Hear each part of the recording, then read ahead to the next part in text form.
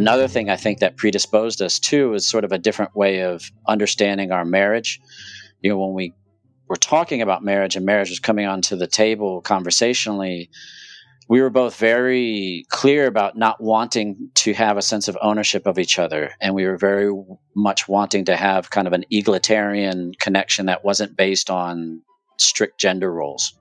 Um, and we were also talking about marriage is not a thing that you just assume is going to last forever. And if we change and grow and evolve, that maybe that construct changes too. Welcome to Normalizing Non Monogamy, the podcast where we interview incredible people from all over the world to hear their personal journeys of self discovery through the lenses of love, sex, and relationships. Our mission is to show people that they're not alone and to inspire them to embrace their true selves so that together we can open minds and live authentically without shame. We believe everyone's story is powerful and beautiful, yet it's important to remember that everyone does life a little bit differently and that the views and opinions expressed by our guests do not necessarily reflect our own. Additionally, we aren't doctors. Please consult a medical professional for anything regarding your health that you might learn about on the show. Enjoy! Well, welcome to episode 312. We're Finn and Emma, and today we are honored and excited to have Jessica Fern and David Cooley on for our interview today. They are the co-authors of the new book, Polywise, that came out just a few months ago. And you also may recognize Jessica Fern as the author of Polysecure. We're so excited to talk to them today. They have been in relationship for over 20 years. It's taken many different forms and they dig into it all with us today. Yeah. And uh, as Emma said, super excited about this conversation today and the way that these two are so able to dig into the journey that they've been on and all of the different variations and iterations that relationship has looked like for the two of them and how they've landed where they did today and and and and and and right how they keep doing the work together to continue to co-create a beautiful life and then how they use that experience and their experience and their work to write amazing and create amazing resources for, for all of us who are out here navigating the world, honestly, alongside them. And I think mm-hmm. that's what's so amazing about this is this, this interview is really their story and their journey individually and together. And so I'm excited to get the the behind the scenes look. Yeah, it's amazing. And we also want to say thank you to both of them for all of the amazing work that you've done and a reminder that you can check out links to their works in the show notes. Also, we wanted to thank both of them for their patience with this interview. We did this interview on Labor Day if, about two months ago, and we've had a backlog, and we just want to really acknowledge and appreciate their patience in us getting this out there. We call that anticipation. Yes. or anticipations.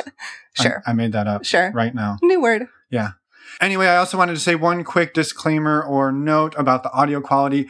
There is a bit of a scratchy mic for the first five minutes when David is talking. We correct that. So it's, I've, I've eliminated as much as possible in the first few minutes and it's completely eliminated throughout the entire interview, just those first couple minutes. So we heard it. We got you. It's all good. Thank you again, Jessica and David, for everything. For anyone who is a premium subscriber, we're going to jump right into the interview with both of them now. And for anyone else, we are going to go through our announcements. First up, if you're not familiar with the premium subscription, you hear us, if you hear these announcements, talk about it every week. It is a way to skip these announcements up front, jump right into the interview, eh, but don't worry, you still get important dates in the outro. To sign up, go to our website, normalizingnonmonogamy.com, scroll down on the homepage, and you will find links to sign up for the premium subscription right there. And while you're on our homepage, if you go up to the top navigation bar, we've got a new place for you to go. And that is under the podcast tab, there is one that says Ask Us Anything. We released our first Ask Us Anything episode just a few days ago, last Friday. October 27th. October 27th, where I came on with Miche and we answered a few listener questions that were sent in and we had a great time. Yeah. And Miche is a relationship coach working with Expansive Connection. We're super excited for this partnership. So we're not going to tell you more about that here because we're trying to keep it fast, but please go check that out. You can send us a question. We will answer it on the air and we would love, love, love to have you do that. We answer those once a month. So there is more information on how to do that. Again, on our website, click on the podcast tab and then ask us anything. While you're there, you can also sign up for our next virtual meet and greet. It is going to be on November 17th. That's a Friday evening. We would love to have you join us. These virtual meet and greets are open to anyone. You just must be open minded and respectful. The, we have a super fun time utilizing the Zoom breakout rooms and giving you questions to talk about with one another. And we scramble the rooms so you get to meet as many people as possible for the evening. Uh, they're a lot of fun and we would love for you to go sign up. Again, links under the events tab on our website. The next thing up is we want to tell you a little bit about our virtual community or our community that we've been running and building for the last four years or so. Mm-hmm. And Since it is 2019. it's absolutely incredible, but we're not going to tell you about it today. We're going to let one of our community members tell you a little bit about it. And I will say they also talk a little bit about how amazing the podcast is. And so thank you in advance, Judy, for sending us this and for all of your kind words and all of your contributions to everything we do. You are one of the backbones of our community. So Yes. thank you. Hi, this is Judy, and I just wanted to say that the Normalizing Non Monogamy podcast is one of the best podcasts on polyamory that I've heard. Uh, this was the first place that my husband and I got our education when we first were starting to think about joining the lifestyle several years ago. And this podcast has something that I think none of the other podcasts have, and that it's not got a lot of experts. It's real people talking about their real everyday experiences in ethical non monogamy. And I think that sets it apart from a lot of the other podcasts. Finn and Emma are so knowledgeable and welcoming and supportive. And this community is also very welcoming. I would encourage you to listen to every episode and to join the community. You won't be sorry that you did. Thank you again, Judy, for this amazing feedback and testimonial. We are super grateful. And I just wanted to, to add one quick note to this, which is she, she mentioned how our podcast episodes are full of real people telling their real stories and their real experiences. And honestly, that is what the community is. It is full of real people, many of whom have actually been on the show or come on the show after they're part of the community. And they're in there sharing their real experiences as well. And so it is a really great place to just not be alone. Mm-hmm. Yeah.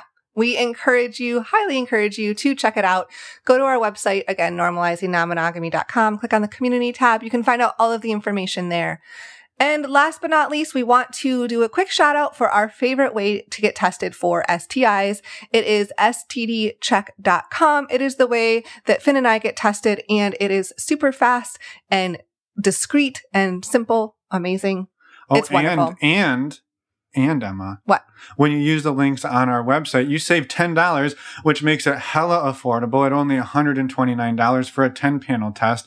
And when you do that, you help support the show financially. Yes, thank you so much in advance for using those links. And a quick reminder to Find those links. You go to our resources tab and you will see all of the resources that Emma and I use, but links will be in there as well or in your podcast player show notes. I didn't mean to step over you, but I, I think you were just about to forget to tell them where to Yeah, go. I was. I was. It's all good. I was going to say, while you're on our website, send us a voicemail, send us an email. We'd love to hear from you if you want to be a guest on the podcast, or just have you any questions, feedback for us. We would love to hear from you. And with that, let's go and talk with Jessica and David.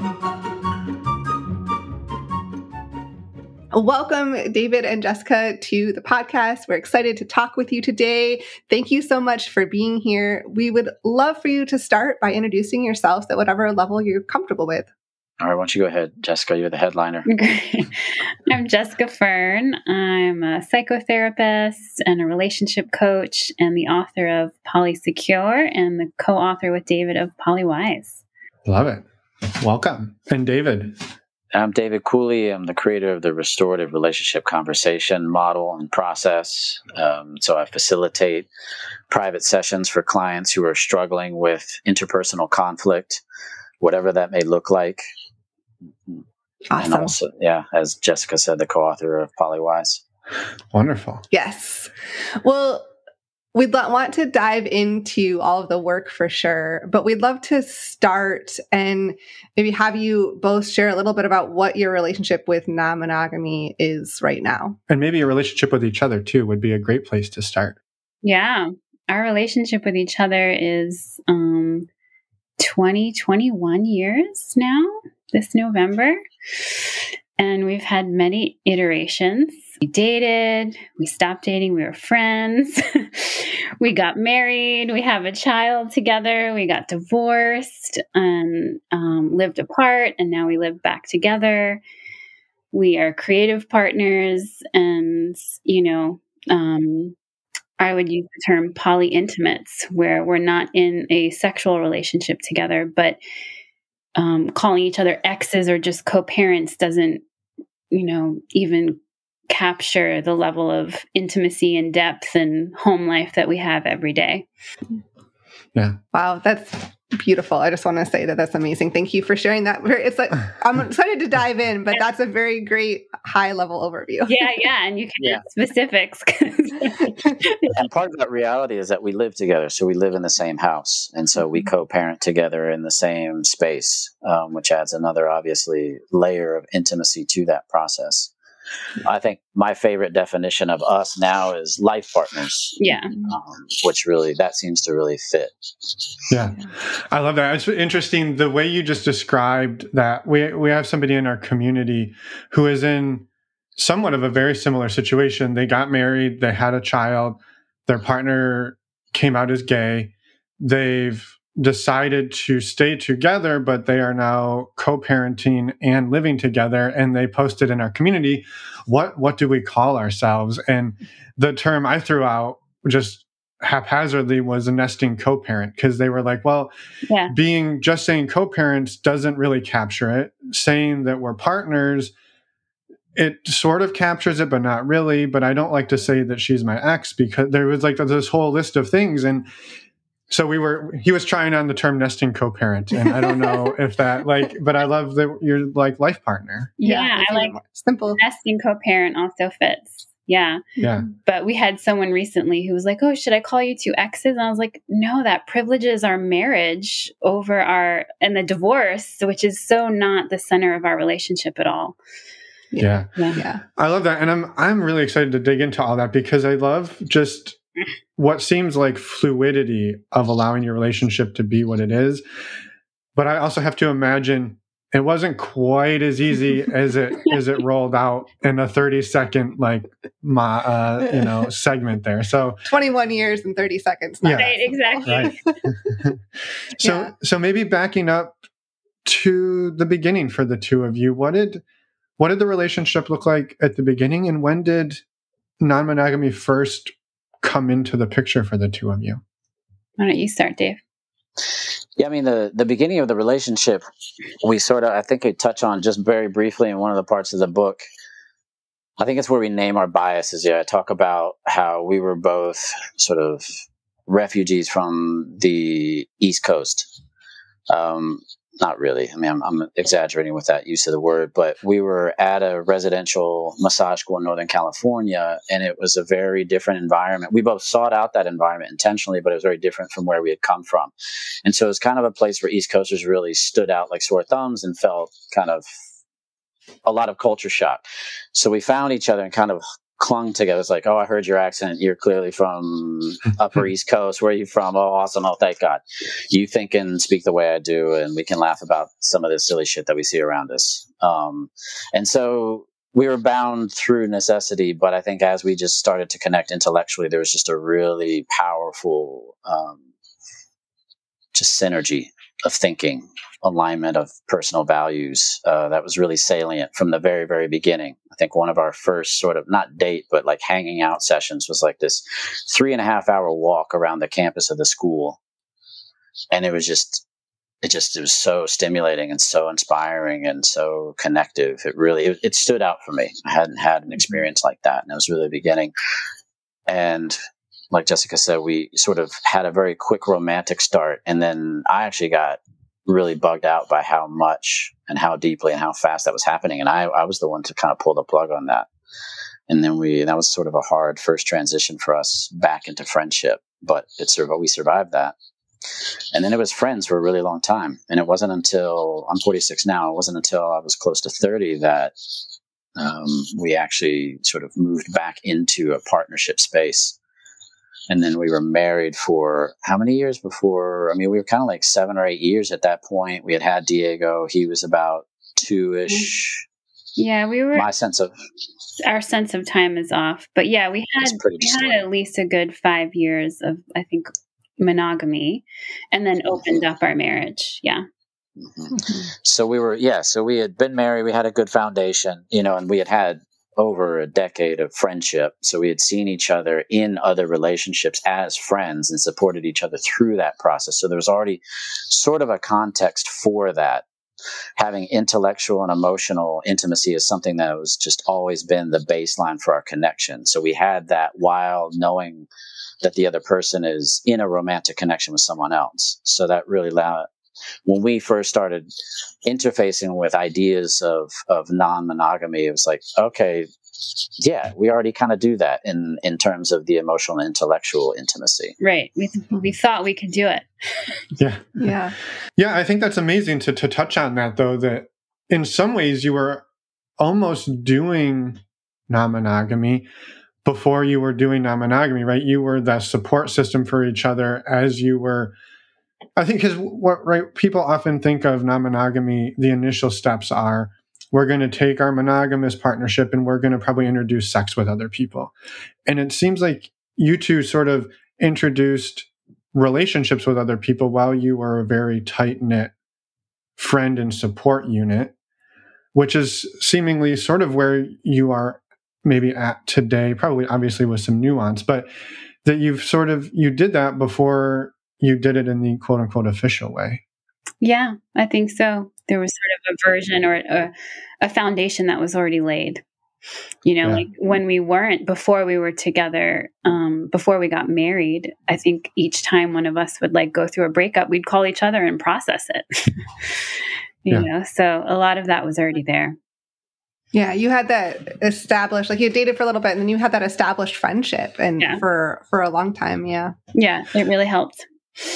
So what what brought you two back together and then set you off on the trajectory to marriage? Um, and maybe what took you then from the monogamous marriage into an official exploration? And official is such a weird super word. simple question, by yeah. the way. yeah, yeah. Dave, you take what got us together into marriage. I'll take the what opened us up. Sounds good.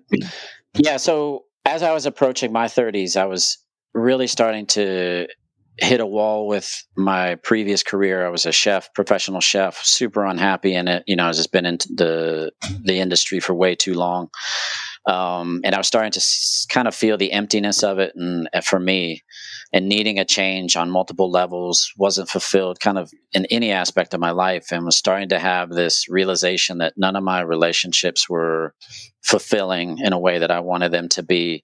So it's kind of hitting this this existential crisis and I noticed that I was holding up everyone that I was dating to Jessica. Like, so I had Jessica, I, I hadn't thought of her as partner potential in a long time. I mean, we had kind of had some, even after we had transitioned into friends, there were some starts and stops where it was like, there's so much chemistry here, maybe, but it was just never the right time. And we'd talk about it and touch on it, and then be like, no, not now. You know, so it's strange like that. But I noticed unconsciously at some point that I was, they're not Jessica. Like, that's, I've already got someone who I know this is the standard. How could I settle for less? And then I had this journey. Um, in the mountains. I went with some friends and, and had kind of a spiritual process and saw Jessica and I together in a vision. And was just like, why am I holding her up here and not going for it? And so I remember driving, it was like five in the morning. I had to be at work in like two hours driving down from the mountains. And I called Jessica and I want to try us. And she was like, great, prove it she knows she knew me really well. Um, and so she knew that she was going to have to see follow through and not just me be really stoked in a moment of inspiration and spiritual illumination after you know a retreat like that. So it was great. She tested me and and thankfully I, I, I met the challenge. And so we started really kind of getting back into that that cycle of of partnership and attachment formation um, obviously not thinking of it in those terms. And we were dating, not dating, I mean, we're just kind of connecting long distance. She was in Denver, I was in Virginia. And within, I mean, six months tops, if it was even that, okay. I was like, I'm out of this job. I don't need this shit. Let's do it. And so I flew to Denver to be with her in her little apartment, um, which back in those days was affordable. And we were just really jumping into living together for for the first time ever. Um, and we were together about eight eight months or so before getting married. Um, and I remember thinking before doing that, I was like sort of soothing myself, like, ah, we'll be together for two years, living together. We'll really like work, iron out the kinks, and then we'll get married. Then we'll start talking about getting married. so it was sort of, it was interesting, sort of the way that we that cycle was accelerated um, after we got together. Yeah. Yeah, I mean, it sounds like even from the very first time you two met, the level of intensity that brings you two together is seems to be a force that is tough to reckon with. Yes. Mm-hmm. Yeah. It is. There's a karmic, you know, I have mixed feelings about the word karmic connections, but I think it feels very applicable in, in this this context. Yeah. Yeah. Yeah. Yeah. And then we were together for several years before we had our son. And I think it was a combination of things. Well, even when we were first getting together before marriage, because the serious relationship I was in before Dave and I got married was with a woman. So we did have conversations of like, can I be monogamous if I'm not straight? You know, like us sort of bringing that to the table. And I had previously had times of being non monogamous. So are we assuming this? You know, that it was sort of a, the conversation was there, it wasn't completely on there but we kind of defaulted into monogamy as well and assumed yeah. it. And it was it did coincide with this like after pregnancy and starting to ovulate again and like a lot of my physiology and biology really changing. And then as a therapist having this one and i've talked about this before but having this sort of one week where all of my couples clients brought in non-monogamy. And so that just bringing, you know, coming home and talking with Dave about it and us just being like, should we try this? Let's do it, you know? Um, and it was, it was different. It was more polyamory actually that we were really, you know, opening up to and claiming and coming out as versus previous times of me being more on the non-monogamous umbrella. Yeah. Yeah. You're actually potentially seeking out other relation, other romantic other love relationships. Yeah, and Yeah, that's other what drew us most. I mean, we were both excited about having sex with different people too, but it was really we both felt this like we already do this. We love people so deeply and like we have the capacity to love more than one person. Let's do this. Mm-hmm. Yeah.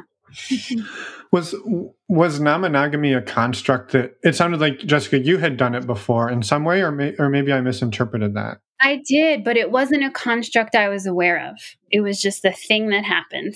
right? It was yeah, It was that's so common, right? Yeah, it was so common that, you know, even at 14 years old, just like, you know, these little kissing parties that we'd have with other girls or guys and girls, you know, where it just, we weren't completely monogamous or exclusive. Um, Yeah.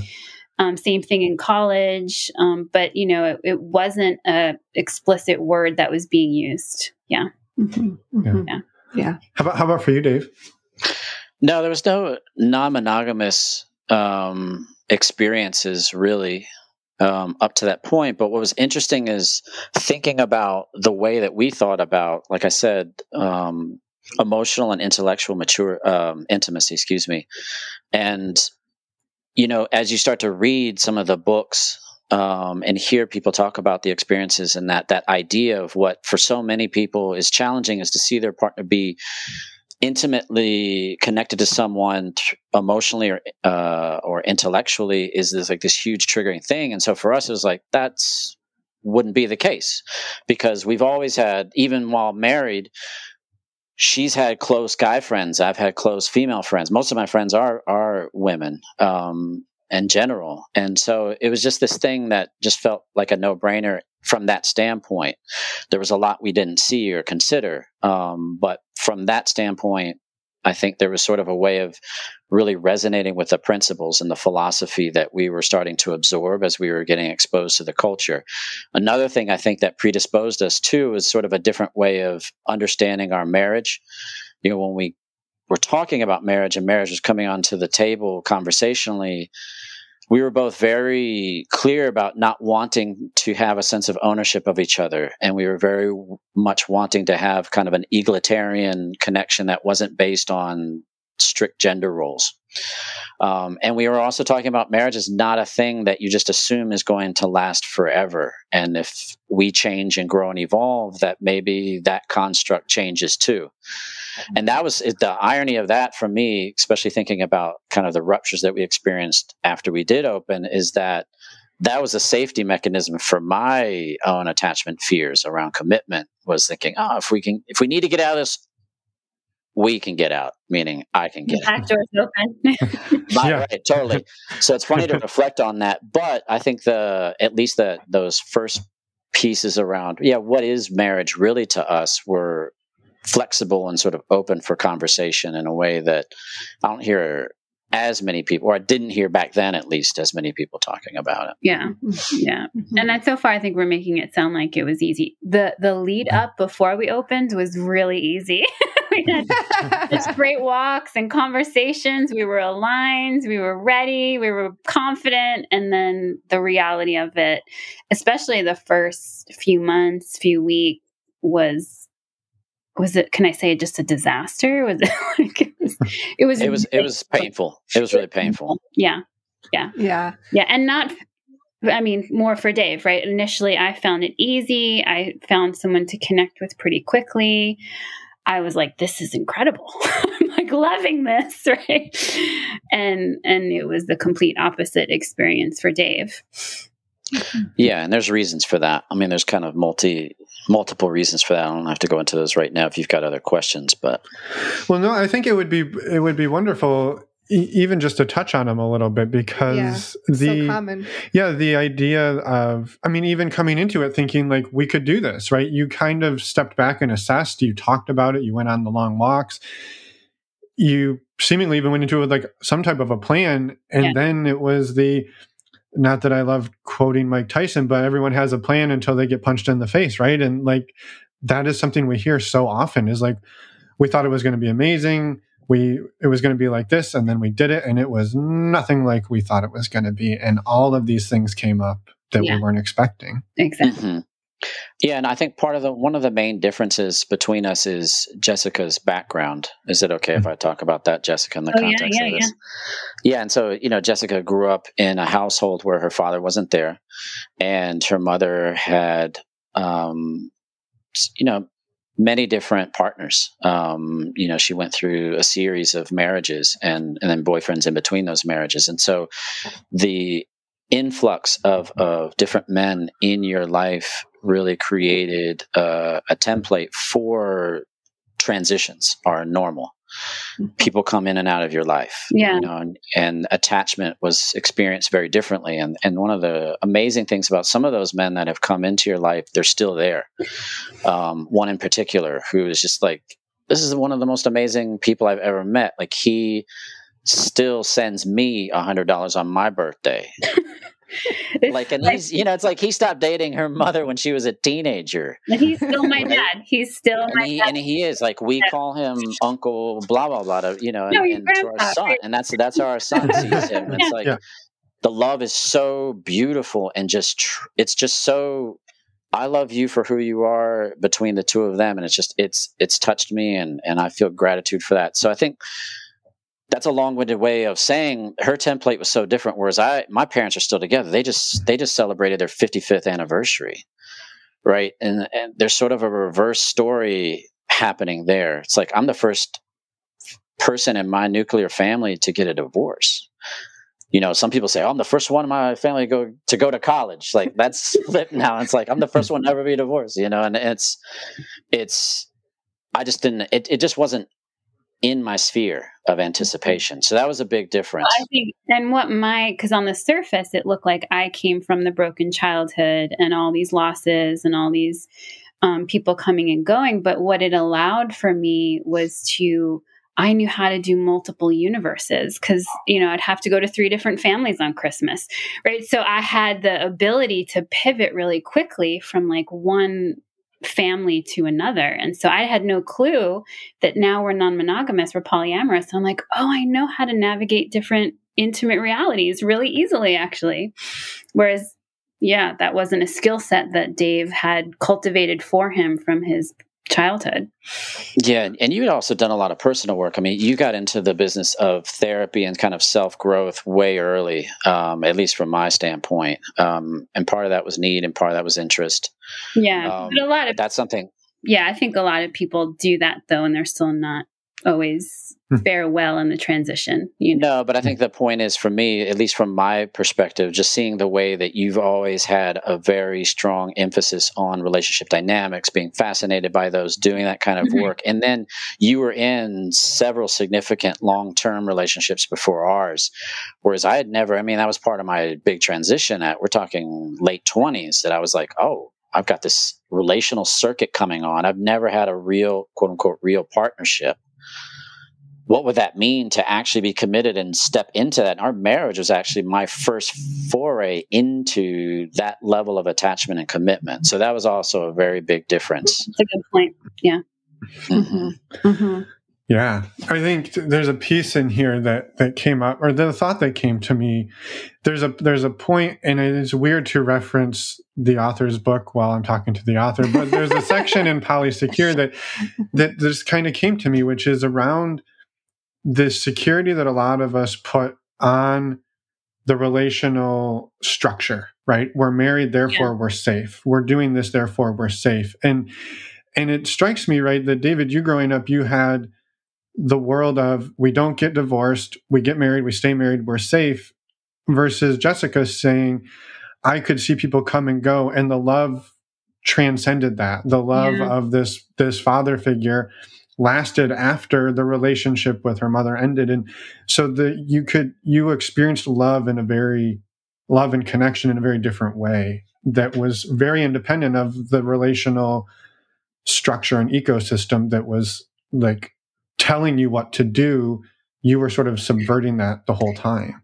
Yeah that's a great point because i never felt like i had the privilege of those structures to rely on growing up. They just didn't exist right? And then so when we opened up and that structure changed from monogamy to polyamory, it yeah, it seemed it was really hard on you, Dave, of just like a lot of suddenly we thought he always would have been more securely attached, a little avoidant, you know, was now just anxiously attached in a way that was surprising. I mean, it was shocking for both of us. We're like, what's mm-hmm. happening? yeah. Yeah. Well, and two, you've both highlighted, as you kind of said, kar- karmic connection, right? So you're you're now threatening that. the most intense connection you've ever felt in your life mm-hmm. by opening it up to potential risk. Yeah. Mm-hmm. And even though you both want to do that and choosing it, it doesn't necessarily make it easy. yeah, and I think this is one of the true gifts too of Polysecure is it's really opened up so many people's eyes to the importance of the concept of attachment theory and the way that it's not something to be underestimating. Um, I think it's a mechanism that you know life is programmed into us for a very good reason, and it's powerful. Mm-hmm. and we don't really understand it until you start fucking with it. And so I think we started really tapping into that. And I had no idea because I'd never experienced, because I hadn't had any exposure to that level of forming an attachment, primary attachment, emotional attachment with somebody before Jessica, really, besides my folks. Looking back, I'm like, oh, this is what I was avoiding in my late teens and 20s was forming an emotional attachment because I didn't feel secure enough to do that or felt mature enough to do that. So the irony of that for me, I think, again, coming from that secure um, base with my folks, is that I really had no concept of jealousy and what that would mean in the way that sex was so intermingled mm-hmm. with love and what that meant for me, or the way I saw being a man. Uh, and then, like, once that started going outside of the house, it was just primal panic. I mean, that's that's the only way yeah. to describe it. Like I was yeah. turning into an animal. I mean, that's the way it felt. It was crazy. Yeah. yeah.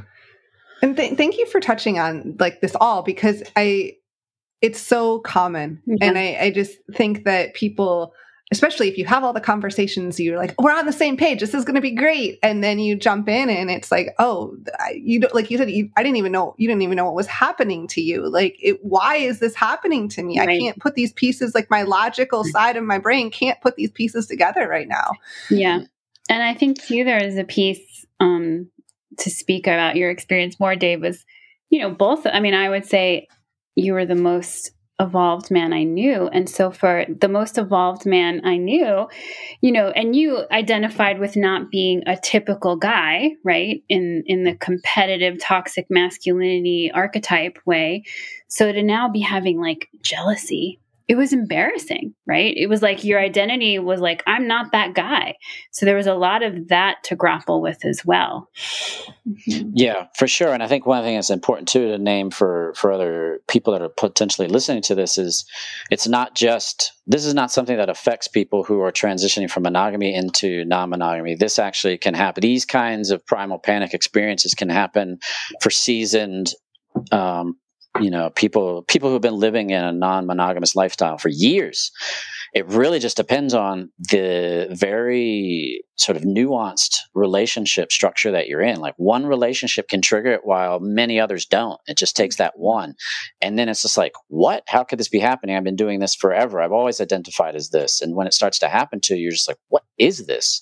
And again, I think that's why Polysecure was so important, is because it's like it's just given people a name for something that affects everyone that's gone through extreme um, crisis points in their non-monogamous journey. Yeah, mm-hmm. mm-hmm. I think what's what's really fascinating about it too is you, as we kind of talked about, you two were sort of that support system for each other going through these types of relationships before you officially created the structure. Yeah. And that seemingly was even okay. That didn't call that didn't call back to this primal panic. But yet once the the dynamic once the container shifted for the two of you that became an that seems to have then come up which is just two people doing r- roughly the same thing over a period of years at different phases and different containers elicits very different experiences it's it's just really i mean to me it's really fascinating yeah. and i'm I uh, just appreciate the vulnerability both of you about mm-hmm. talking about it because it's not easy to talk about no. how hard this shit can be. Yeah. No, for sure. And I think that's part of why we're doing this work and wanted to write this book is wanting to normalize this experience. And so the more that we can talk about what's really hard about it, the more that people don't feel isolated in the experience. Um, and I think that's really critical for you know just kind of giving people more resources yeah. um, i that i wish i had had access to when this was happening to us. I wish i had understood more about these you know attachment and and the ways in which your partner now stops being a support system. Like that starts to create this double bind that's really painful. Like Jessica became the source, quote unquote. You know, it's like that's my projection of my hurt, but it's like she's sort of becoming the source of my torment and that's the person I'm conditioned to want to go to to process that pain, that's really intense. Like that phenomenon in and of itself is so difficult. And then if you don't have a large community of people externally that are really on board with your ch- lifestyle choice, and you, you know what's worse is when you feel like you can't talk about with anyone else. Like that kind of isolation is just really, really crippling and really, really intense. And so that's the kind of thing where it's like I want people to know they're not alone in that experience. Yeah. Yeah. I love it. Yeah. And I know we could we could keep diving in here, but I I'm curious for anyone listening to be like, okay, well, how did you get out of it? What did what did what did you do? How did that how did that process go? Because uh, I can imagine there's a number of people listening that are currently going through something similar. When we got all the spoilers, they wound up living together. Yeah, and right? all of it. So we know we know it's possible to at least come around. But yeah, how did it how did it play out? Uh, played out in many different waves. I mean, immediately, um, with even in just a few weeks, it was like too overwhelming for Dave's nervous system, and we took a pause. And he went down to Peru and did some medicine journey work for a month, and really did like looking at what what within him was needing to heal. Um, and Dave, you can jump in and say more about that. And then we and you know none of us had neither of us had created um, relationships so it was okay to take a pause you know um, and then we opened up again. And then I got into a relationship pretty quickly. And you can say more, Dave, about the work that you did, but there was a point where I think we were actually, even though there were still ups and downs, we were in a sweet spot where it was like, he could go on a date, I could go on a date, we can come home and talk about it, we could process it, we could, you know, conflicts could come up in those other relationships and we can process it with each other and support each other and like what to do with that other person. So there was a sweet spot, at least from my perspective. Yeah, that's different.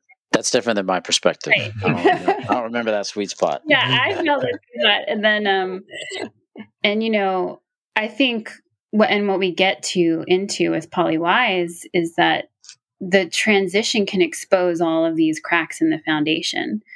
So we felt like such a solid couple, which in many ways we were, but then the transition also exposed certain imbalances in our relationship Mm-hmm. around codependency. So it's like, okay, now we're dealing with anxious, you know, attachment coming up and our whole foundation shaking and the newness of dating people again and what that is personally, let alone together. And then having to be like, oh shit, what's all this codependent stuff that we didn't even think we had?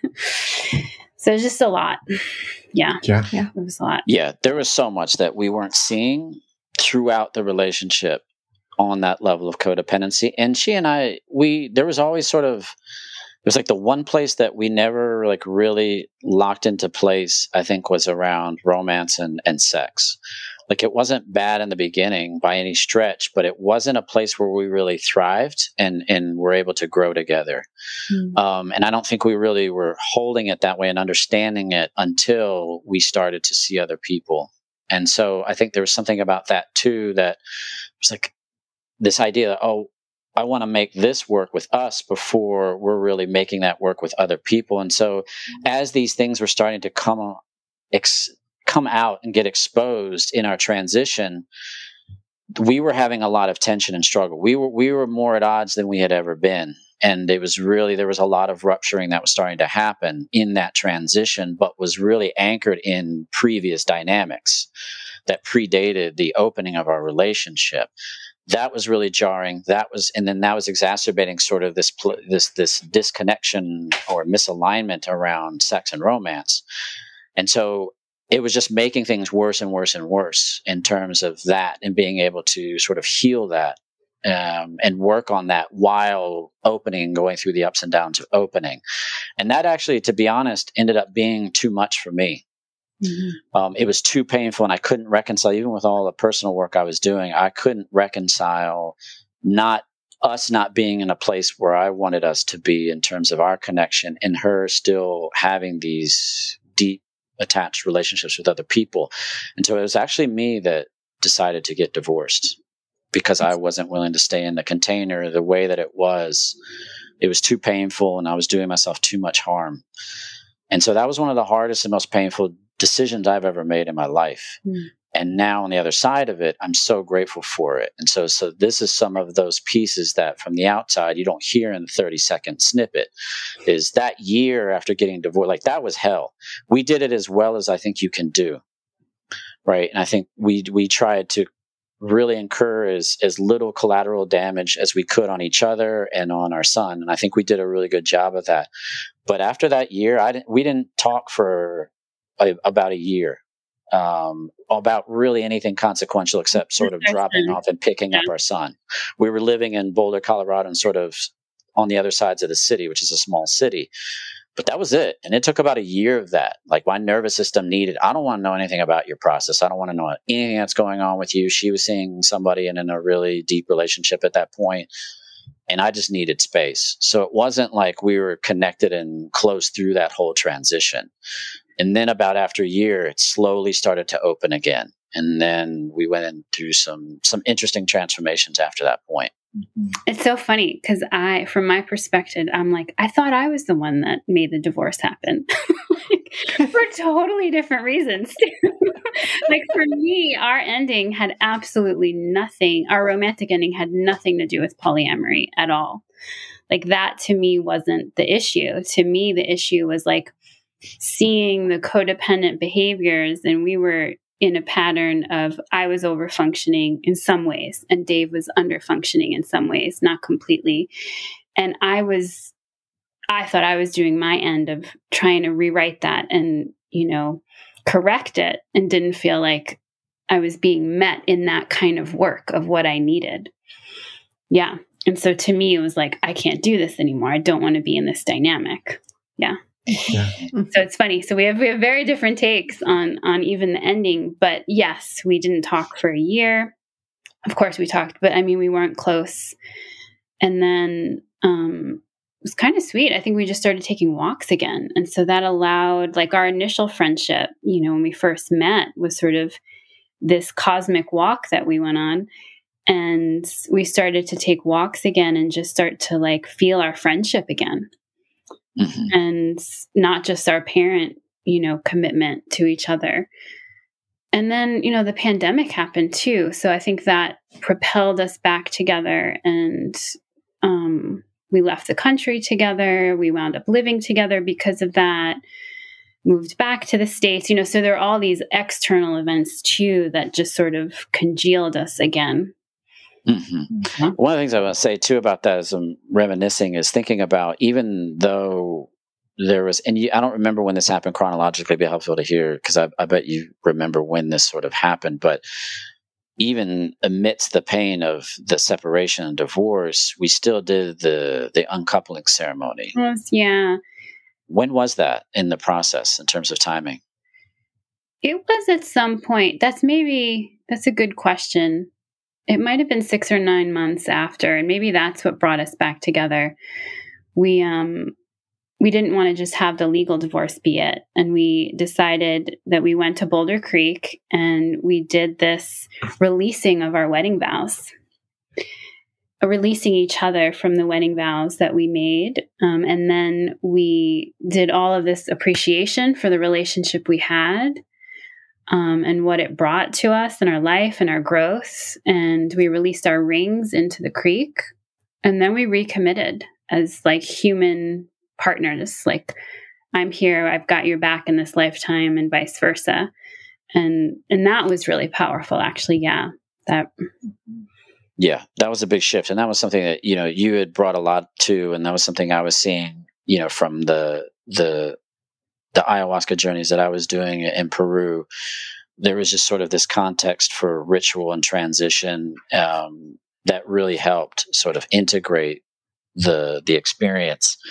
And what's interesting for me, reflecting on this, is my current partner just did that with her now ex husband. I mean, just weeks ago.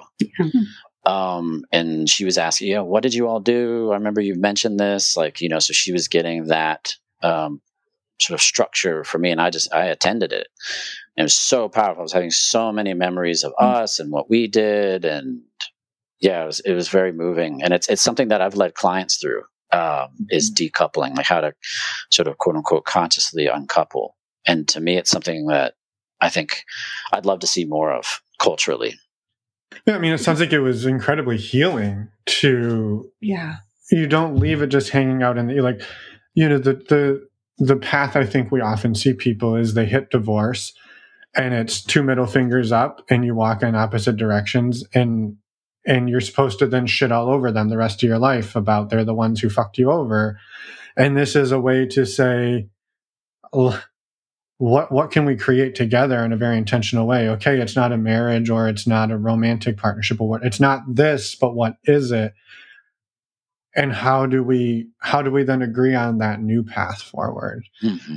and i think i mean i would imagine if you can bring other people into that then you can cut out some of that you know you get half the friends i get half the friends you get half of this i get half of this. Like it's hey we're a team still. Like we're not we're not that same team. We're a different structure but we're still a team. Yeah. Mm-hmm.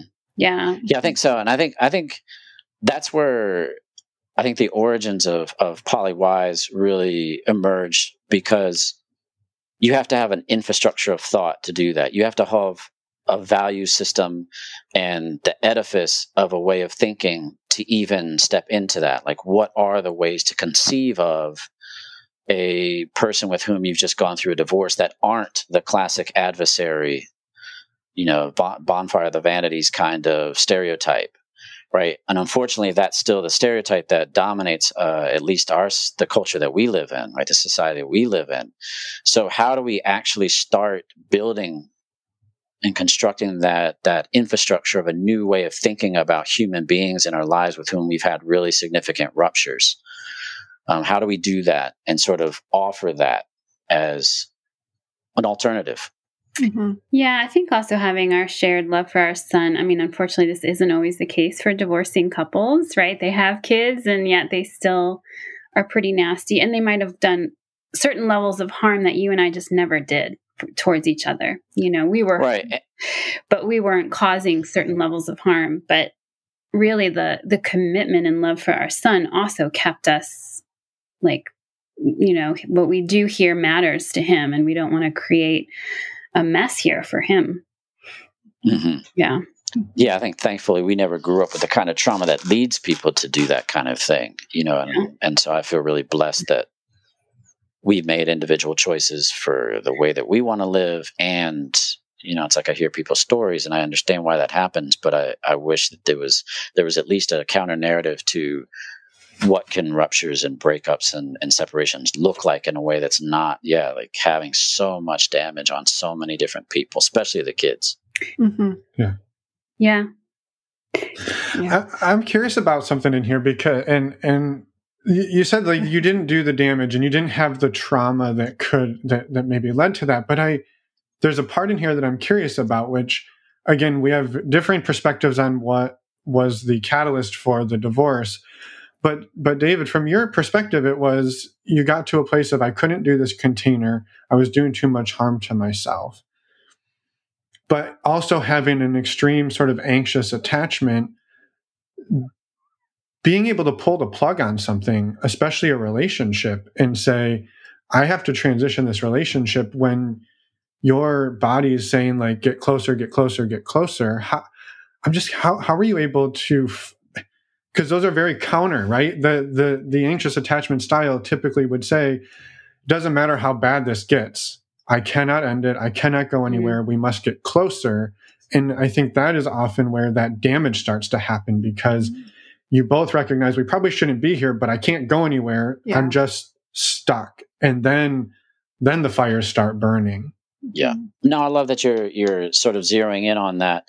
And you know, it, it's an invitation for me to be even more vulnerable in my process around that. I think like I said, I didn't have up to that point I had no context for understanding attachment theory, you mm-hmm. know, and it was something that as we were literally as we were going through this this rocky transition that you were starting you were integrating more and more jessica and so i remember after just one of the most one of the most egregious sort of um, exchanges that we had after she was leaving to go on this agreed upon uh, ex- overnight experience with one of her partners she came back, you know, I was apologizing for what I had said and done. And then she was like, I don't even want to have a conversation with you until you've read the description of the anxious attachment. Did I say that? you did. And she's, Jessica's great. You know, she's classic Aries, like, you know, don't fuck with me. Um, you know, it's like she's good until you push too much. And then it's like, whoa, that's scary. Um, and so you listen and so that's what makes her a great therapist too. So I'm grateful for that mechanism, even though it's terrifying to be on the, the sort of the firing end of it. But she said that I took it seriously. I read it, and I was just like, oh fuck. You know, it's like I'm a robot. Like I couldn't believe. Like it was like pretty much everything on the list was checked off, and I was just like, oh no. And I remember having that experience the first time someone turned me on to the Enneagram, you know, and they were like, I think you're a mm-hmm. five. I was like, no, ain't no system out there that can tell me what I am. And then I read the description of the five, I'm like, ah. And so dead to rights. And so it, it was like, it was, it was pretty profound, like just mm. seeing it mapped out and relieving. I'm not crazy. I'm not a bad person. This happens to other people, even this extremity, you know, because I was doing crazy things and it's really embarrassing and it's really intense and, sc- and scary. It's really scary. Like I thought I was losing my mind. I, I literally was becoming suicidal in moments. I didn't know if I was going to survive it. Like it was so rough. And so to have that as a point of reference really changed in it. So i knew that i needed specific help. And so i committed to do this series for myself. I had moved out was staying with some friends. And i did a series of four weekend lsd journeys. Um, and i'm not saying that this is what everyone should do. This is just what i did because i had had a lot of experience with with um, psychedelics and the way those can be transformative. And so i was committed to seeing what is at the heart of this anger that i'm holding towards jessica and it wasn't until, and so I was locking myself in a room and just like, I'm not leaving this room till I get the answer to like, why is this so difficult? Why am I'm being consumed by this anger? Because I was like intimating that this is not really about her. I knew it on some level, but just couldn't overcome that mechanism. And on the third session, it was like, oh my God, I'm trying to make another human being, essentially a woman, responsible for my existence. I'm unconsciously wanting her to take care of me. That's what all this has been about. That's what all our codependence is about. Oh my God. And it was just like the anger broke. Like the, you know, I was still, there was still pain, but it was just like something really changed in me. And I was able to like really let go of the, the attachment at that point and recognize that my own well-being wasn't going to be predicated on whether or not we stayed together, but on me taking care of myself based on what my needs were in that moment and that allowed me to make that decision. Mm-hmm. Damn. Thank I'm you. So grateful that you're able to talk about these things in a way that I, yeah, I just, yeah, your vulnerability is impressive and we appreciate it. Yeah. yeah. Yeah. Thank you. It's good to hear that part of it again, too. And I think that's where, to me, it's like that ending, that iteration of our relationship, to me, it wasn't polyamory. It was actually, to me, that was the root of the dynamic that I was also like, this isn't healthy for me. You know, and, and even having our son was a big part of it because once, mm-hmm. you know, I we had our son, I realized I'm parenting everyone in my family. I'm parenting my parents and parenting, you know, parenting my friends and parenting you. Like fuck all of that. I'm just parenting my child who I'm supposed to be the parent to. And so I was shedding a lot of this over functioning and over caretaking I was doing and rescuing. Yeah. And really, you know, getting at the roots of that behavior in myself. Yeah, and I mean that was the interesting thing about our dynamic too. Is like you know you you develop that caretaking, and we talk about this in the book. Like you you developed the need to caretake people to find love, and I developed like needing to the be caretaken. Yeah, the dependency, and and I have you know I've had a really significant autoimmune condition that made that easy. You know that sort of like was kind of you know like neurotransmitter into receptor sort of hand to glove situation yeah. Mm-hmm. And so it really fed that. And so it was the birth of our son. And I've heard this too. It's like the best way to find out what's not working in your relationship is to have kids or open up your relationship. And we did both um, sequentially. And it was, it was the detonator. And I, so I think for me, because I felt like we weren't getting to, there was no, there wasn't enough connection and, and intimacy between us to really work those things out in the container we were in. And so for yeah. me, that's where I was like, I, I need to just jettison this thing mm-hmm. and yeah. see what's what on the other side of it. Mm-hmm. Yeah. Mm-hmm. Yeah. Thank you for everything. As Finn said, like we just really appreciate you sharing. And we can also can also relate to reading things about what your like personality and then being like, no, that's not me. And then you read it and you're like, oh my gosh. Like sometimes How did they know?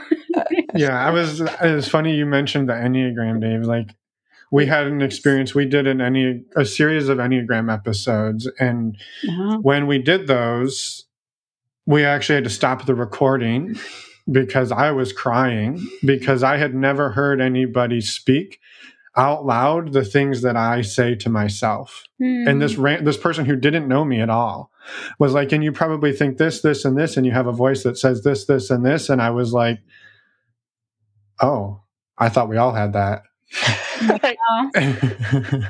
yeah. So it it changed my world. And and I know right there's some people who say, well, Enneagram is just like horoscopes, and it's and okay, sure, maybe it is, but like it it's pretty pretty fucking accurate horoscope for me, totally. and so I'm okay if it helped me understand myself better.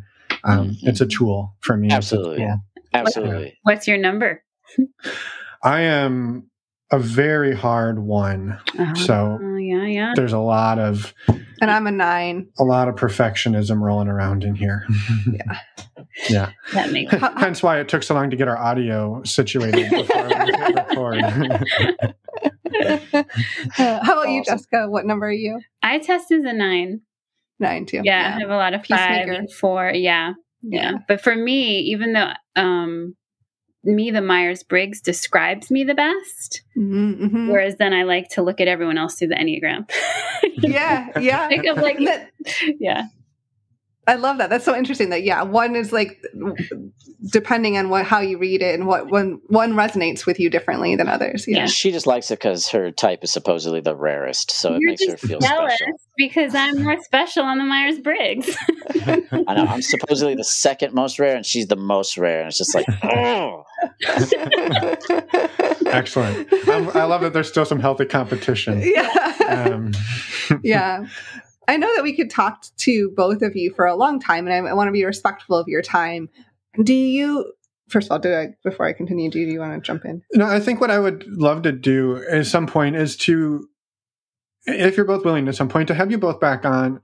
We talked a lot about the sort of the uh, dismantling, the transitioning out of what you built. And I think I would also love to spend more time on the rebuilding process because Yeah. I think that that's also not a story that gets told very often, right? Again, it's everybody goes to their separate corners and never talks again. And and I appreciate that we talked about it a little bit, but just that that process of picking up the pieces, feeling betrayed, feeling abandoned, all of the things that can come up in these moments, and then to piece them back together. And the puzzle probably doesn't look anything like it looked before you took it apart, Yeah. but yet it's a puzzle that is now working for you two in a different way. Well, and that's where I was going to. I agree that we should have a further conversation if, at some point if you both are open to it. But I uh, wanted to see if you could kind of summarize as much as you can, kind of where you're at right now, as far as like your relationship and re- other relationships, just to Mhm. for some context. Yeah.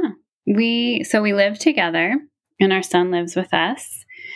And um we each have significant partners that live outside of the house and they also have kids, right? So we kind of have this mirror image of of our relationships right now.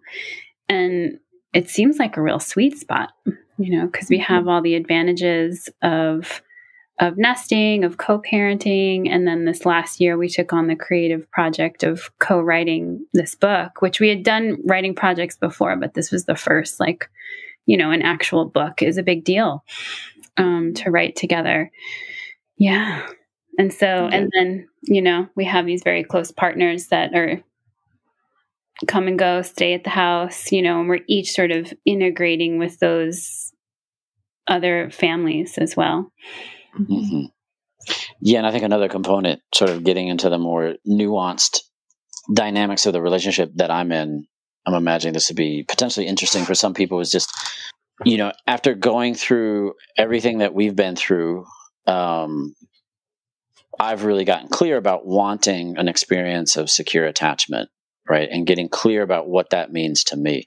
And so when I met my current partner, we're about to celebrate our one year anniversary we were both explicitly like we're not monogamous. Like and we knew that going into the conversation right? And she was very upfront about still being married and you know sort of transitioning out of a different partnership outside of that. And it was great. But we were both really as we were sort of getting the sense that oh this feels significant we really started to like want the same thing around a container. And so we've actually been very monogamish in our relationship and we've said we're not ready for either one of us to start looking for or being open to um, explorations of the kind that would lead to attachment formation. And so we both share kind of a, a love of kink and and and erotic exploration. It's something we love to do together and are slowly sort of uh, letting that happen in other containers even when we're not together but it's it's really about what does secure attachment look like for us for our relationship knowing that at some point that is probably going to change or not. But it's really about like what does secure attachment look like for us and really honoring that while being able to navigate a more sort of open-ended exploratory relationship to relationships. Yeah, and my relationship with her feels much more like a metamor relationship, not like Dave's girlfriend. You know, it's Mm-hmm. yeah, Mhm, That's interesting. Yeah, I can see that. right. And her and I have that intimacy of a shared partner in a lot of ways. You know, even when we talk about you versus it just being like, you know, other times that you've had girlfriends that like I'm friendly with. You know, Totally. And I think part of the reason why that is is because sh she's so conditioned to the structural. Like, I tell her about what we're doing, what we've done, and it's just like she doesn't bat an eye. Like she's got her own story that equals mine in the sense of like, yes, the complexity yeah. um, and contextualize contextualization of that. And so, yeah, that's made the transition into the the family networks on both sides much smoother. It's a level of empathy you can only get by living i think in some ways that why like it sounded like davey that, that her marriage also recently transitioned and and all of these things. And so like you're it's the idea that we show up right to these relationships these newer relationships we're not the same person we were 20 years ago when you know you two met or when when emma and i met in seventh grade. I'm, I'm not that seventh grader right? I'm not even the guy i was when we started dating our freshman year of college. Mm-hmm. And so now we're showing up in these other partnerships and it's like well wait well, who the hell is this person? And you're like yeah that's that's 30 years of of experiences in life and developing empathy and and we just sometimes we just we can connect and relate in a different way because of we're, we're not the same person anymore and i just think that's a really powerful sort of look into that that you're both showing up as who you are now and be, being able to relate with other people who have gone through what some some similar exploration hmm and they have a different empathy, right? I imagine if you showed up on the doorstep of somebody who's been monogamous and maybe a very strict way for a very long time, and you're like, "Here's my journey," they're going to be like, "Whoa, don't I don't well, don't come near me. That's way too scary." But you have a different, I don't know, a different community than you used to have too. hmm Yeah, and I think that's a cool thing about sort of the the proliferation of resources, you know, and access to more information and more networking opportunities. Is there is a way in which you can start to make these connections, depending on where you are. There's still people that are living in places where it's not even an option, unfortunately, locally at least. Um, but yeah, the, like I said before, the normalization of these complex journeys is really important, I think, for us. And again, sort of one of the big impetuses for writing the book. Mhm. Yeah. Speaking of that, how about uh can you talk a little bit about the book, about the work, about the work that both of you do? Um, we'd love to send more people your way. Yeah. So the book came out of my question what the hell is going on with working with my polyamorous or newly non monogamous or very seasoned polyamorous, but there's like a relationship de escalation or escalation, or you fall in love with someone new for the first time. Um, and just seeing all of these people who are coming really seeking support and not understanding themselves like why is this happening? Like we want to do this and it still can be hard. And so i really wanted to understand. Um, so it was you know hundreds maybe thousands of session hours with clients of trying to make sense and then doing my own qualitative research um, interviewing people that i sort of came to here's the best answer i have right now you know and that um, other and insecure attachment was just one of the bullet points. I had like five things, like, here's what's going on, right? And so um, my publisher wanted us to do just an attachment book first, which we did. And then this book is the other answers of the other things that are going on. And we've already mentioned one like codependency or um, not being able to deal with the issues of the past that you haven't dealt with before. So that's where Dave came in with restorative justice practices, where the cracks in the foundation of your relationship get exposed. Um, how do you make a paradigm shift? Like, I think this is one of the most underestimated, you know, things around a transition like this. Is this is a different paradigm of love, of sex, of relating, of family. And that's easier said than done. So, yeah, that was kind of the origins of the book. Awesome. Yeah. David, do you have anything to add? Yeah, I think that's a that's a question that we've shared and I've really been fascinated by is like why as human beings do we not make conscious paradigm shifts? Like why do we stumble into the next phase of evolution? Like what what I feel like we have the opportunity to sort of start to create that infrastructure consciously. So why don't we do it? Um, and so we need people that have done it to create that for us. And so it's interesting to you, like she said, sort of the experience of our clients to lay that groundwork for a model that then can be offered. But really, like, how do you operate at that level? How do you make changes at the level of paradigm? So it's not just you feeling like you're swirling in your chaos, but just like you're able to start contextualize it in these kind of outwardly moving concentric circles. And so anchoring your understanding of your journey seeing it as part of a collective journey, I think makes it just more tenable in so many ways. So I think it was a question that I was really fascinated by. I'm a five on the Enneagram, so I love the philosophy. I love the intellectual blending that happens when Jessica and I work together. We've worked together on writing projects before and just known that we have a lot of good symbiosis there. Um, it's just easy and fun. It's just fun to work together. Um, so I can't believe as a five you said fun. I know I'm not supposed to. It's not a word, but I think my new relationship has been helping me integrate that, and um, I'm changing. I was going to say, I know, I know for myself, the reason those new paradigms are so hard is because they got to be perfect before it's time to step into it. you have to perfect them, right? you know me so well. yeah, yeah. So mm-hmm. I, I'm, I'm actually, I'm really excited to read the book because, yes, you know, I think.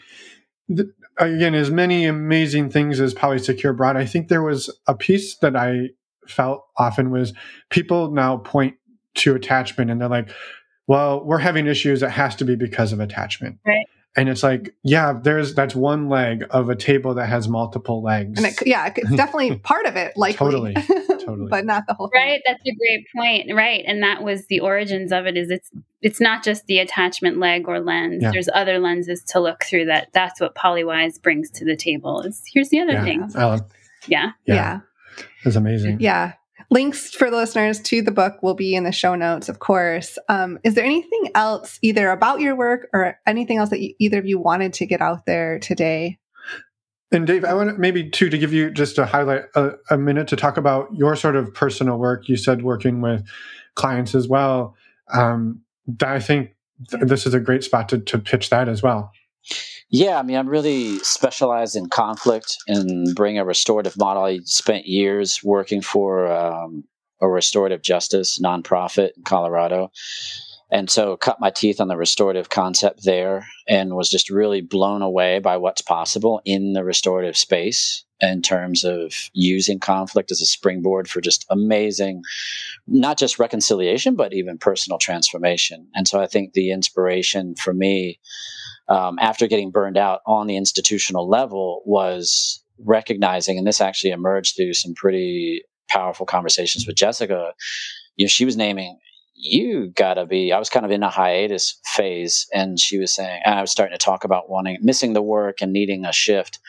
She's like, why don't you take that restorative model? I've got clients that really need sort of a very specific thing, you know, that around just communication dynamics that are conflictual inherently, uh, or dealing with past ruptures that are still continuing to linger and cause problems. Why not use the restorative method?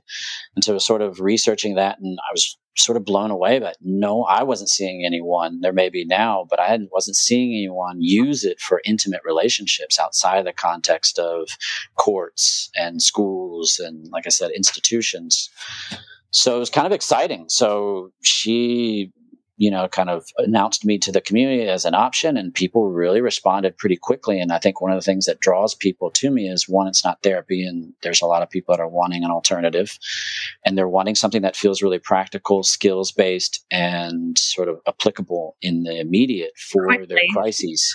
Yeah. And and the restorative method is really that. And i think a lot of people are also starting to perk their ears up to the restorative concept and being like that resonates. There's something about the need for acknowledgement and taking accountability and not just sort of expecting forgiveness and washing over things that really is resonating and i think rightly so. Mm-hmm. um, so it's just been a lot of fun to create this model put it out there and see the response. Um, and i think a lot of people in the communities that um, identify or relate in some way to ethical non-monogamy really resonate with the model um, for various reasons. So it's just been, it's just kind of been a serendipitous, um, positive outgrowth of of this journey that we've taken, and now that I'm really focused on. Yeah, yeah, that's amazing. I love that, and I can totally see how it's really useful and how like two intimate relationships. Why? I mean, Oh yeah. It seems obvious, but I can understand why it's hard to make that transition too. Yeah. Yeah, I mean that's one of the things we I'm sorry to cut you off. It's it's one of the things I talk about in the book is is that's not the only the only paradigm shift we need to make is not from monogamy to non-monogamy, but also how do we move from an adversarial when it comes to conflict, how do we move from an adversarial paradigm to a restorative paradigm? You know and, and i think because we've sort of been steeped in this society with a paradigm of, of criminal justice which is punitive in its essence that's actually in a lot of ways trickled down into our romantic and emotional relationships. Like we are unfortunately i think conditioned to see our partners when we feel hurt as the enemy. And if that's our starting point we're doomed and so we actually do have to make another kind of paradigm shift when we're talking about conflict. And that's something that I talk specifically in, in chapter four about is how do you make that paradigm shift to a restorative paradigm? Yeah. Uh, anything else? I guess. Thank you for explaining that. I think it's amazing, by the way. And I'm, as Finn said, I'm also really excited to read the book and uh, spread the word. Uh, do Jessica? Do you have anything else you want to add? No, that's it. It's great. Okay. Thank you both for the wonderful conversation today. I know, as we said a little while ago, we'd love to have you back on and kind of talk about that reparative structure uh, because I that's a super important and really hard thing to do too. Just on the off chance that anybody's non-monogamous relationship hits a bump or maybe transitions, just hypothetically speaking, of course. Right. Not speaking from experience at all. um, yeah, thank you both again just for your vulnerability today, the conversation. We really, really appreciate it. And for the work you do, for well. the work that all of the work that you've both done. Yeah. yeah thank you both for a, a really awesome conversation. Good containers. It was fun. Yeah. Good. Yeah. Good. I love it. Thank you. I love it. And I think too is amazing just for, for behind the scenes. Dave, you haven't even listened to the podcast. You had no idea what you were doing here. You're just like, I don't know. I'm here to have a conversation, and it was incredibly powerful. So I love that. I think that's amazing. No, thank um, you. You made yeah. it. E- you made it easy. Yeah, thank I you. appreciate it. We, yeah, thank you. um, well, have have a wonderful Labor Day. We're celebrating. We're we're interviewing on Labor Day. So have a wonderful Labor Day, and we will talk to you all soon. Yeah, we look forward Bye. to it. Bye. Bye. Bye. And we're back. Thank you again, Jessica and David, for everything, the vulnerable conversation, and for all of the work that you do. A reminder go to the links in the show notes, check out their work, buy the new book, Polywise. We would love to hear your feedback on what you think as well. And just thank you again, Jessica and David. Yeah, I'm just echoing Emma once again. I, I feel like I do that a lot. You say lots of good stuff, so I'm just going to echo it. Well, thank you. Thank you. Thank you, Jessica and David, for your vulnerability in showing up here and sharing I I'm just super grateful anytime we're able to have first of all anybody be vulnerable to this, but authors who have written some of the I would say the the books. I mean, I don't know that there's a book that's been mentioned more in our podcast than Polysecure, perhaps The Ethical Slut. Mm-hmm. But to to have people who write these incredible resources come on and then vulnerably share about their experiences, I think it it adds just another layer of I don't know, credibility, but just impact to these stories. Yes. A quick reminder our upcoming virtual meet and greet for November is on November 17th. You can sign up at our website. And while you're there, go and listen to the Ask Us Anything episode that dropped last Friday, it's October 27th, where Finn and Misha answer some of your questions. And be on the lookout in the end of November for the next episode of that. Version. And, and be on the lookout for you sending us questions so we can answer them. Please send us your questions. Next week, we have an interview with Mariana. It is lovely. We're excited to get it out there. And I think that's it. That is pretty much all I think we have to say today. So, thank you. Yes. Bye, everyone. Thanks for listening.